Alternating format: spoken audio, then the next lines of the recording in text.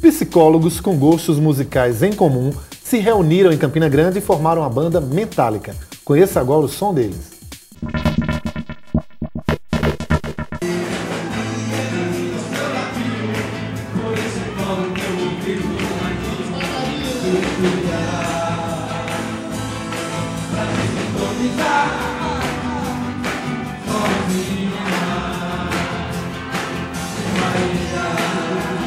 Cinco psicólogos unidos pela música.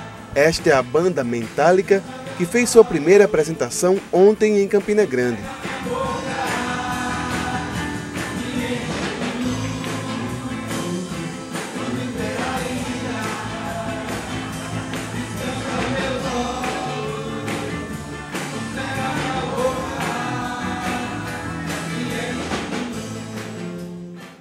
Tínhamos, tínhamos essa ideia de produzir um som através dos psicólogos de Campina Grande.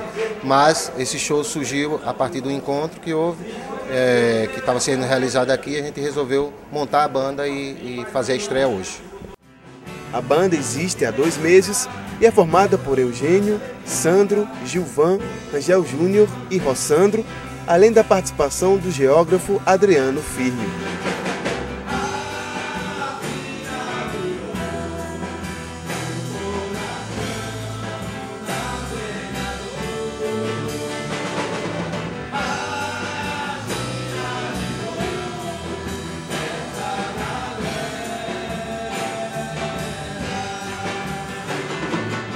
Grupo resolveu integrar música e psicologia, apresentando canções de importantes artistas brasileiros. É, o repertório foi montado em torno do universo da do universo psi, né?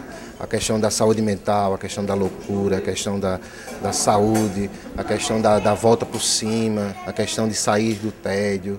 Todo o repertório foi montado em torno dessas, do, desses dois momentos, um momento de, de sofrimento e um momento de, de, de cura propriamente dita. Nós escolhemos canções do Raul Seixas, canções da Rita Lee, canções do Beto Guedes, canções do Kid Vinil, são todas canções é, relacionadas à, à temática da, da psicologia e da loucura.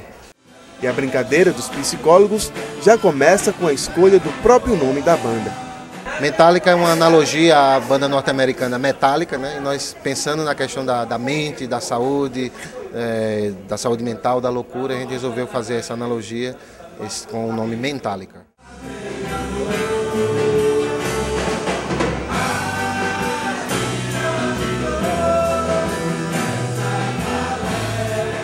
E a ideia desses profissionais foi aprovada pelos estudantes que assistiram à apresentação. Achei a banda muito legal, um som muito bacana. São vários professores e vários profissionais que realmente são muito bem sucedidos dentro da cidade de Campina Grande, tem um renome é, bem, bem característico, né? E eu achei super interessante eles exporem esse, esse lado artístico mesmo, que nós, como, como estudantes, como eu sou estudante de psicologia e sou aluna de alguns deles, então eu tenho realmente esse contato com esse lado mais artístico e mais pessoal mesmo deles.